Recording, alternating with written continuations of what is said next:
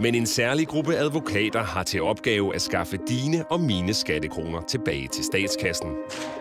En af de væsentligste opgaver er jo at undersøge, om der er foregået nogle ting, som der ikke burde være foregået. Det er jo en eller anden form for skattejagt, vi laver. Altså, vi skal, vi skal finde nogle penge. Det er den forventning, der er, at vi kan finde nogle, nogle penge. Sådan der, hun klasker bare til. Ja. Der er en indbygget behov for, at du har en, en skepsis, en sund skepsis til de ting, der foregår omkring dig, og du også kan tænke lidt ud af boksen.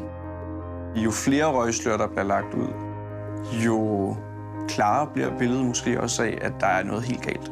Så potentielt så har I i hvert fald sikret værdier for 10 millioner her i dag. Nu flytter vi ind hos kammeradvokaten for at følge en række sager. Altså en ting, vi kunne overveje, det er jo at lave hele den her væg om til øh, opslagsværk på alle deres aktive konkursbord. Så vi får det der på. Med journalistiske metoder vil vi afdække svindel Så kan du næsten sælge for en krone. og afsløre dem, der står bag. Ja, hej Johnny. Altså, det ser fuldstændig forladt ud. Which company? A, com- a Danish company. Okay, then fair enough.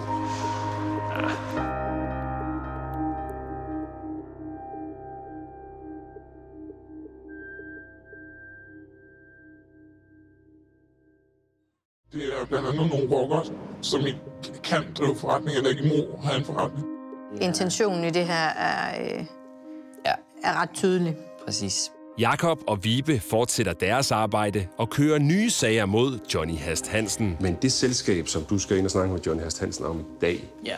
der har mistanken om den svindel, der måske er foregået i det her selskab, den er jo en anden end de tidligere selskaber. Mm-hmm. Så det er jo som om, Ja. det er jo ikke engang Nej, nej. kun er, det er jo ikke én metode. Det er, der dukker nye metoder op næsten hver gang, I får dykket langt nok ned i de her selskaber. Præcis. Ja, hej Johnny. Jeg hedder Jens Langhorn, jeg er journalist, kommer fra Danmarks Radio.